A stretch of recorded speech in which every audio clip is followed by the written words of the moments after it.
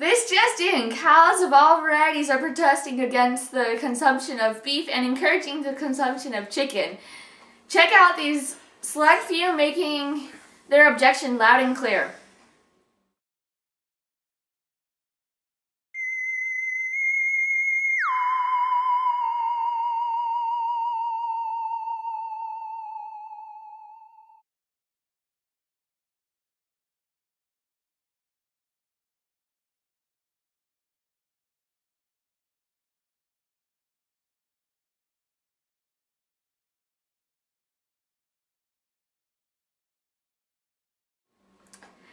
Their most recent arguments include this video clip here.